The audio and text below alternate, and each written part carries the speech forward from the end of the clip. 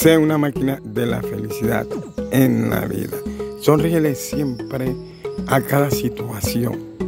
Brinda lo mejor de ti para que cada amanecer sea un nuevo renacer. Vive y deja vivir.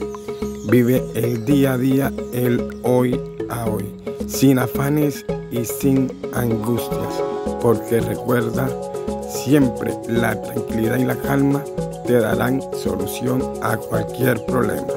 Dios te bendiga.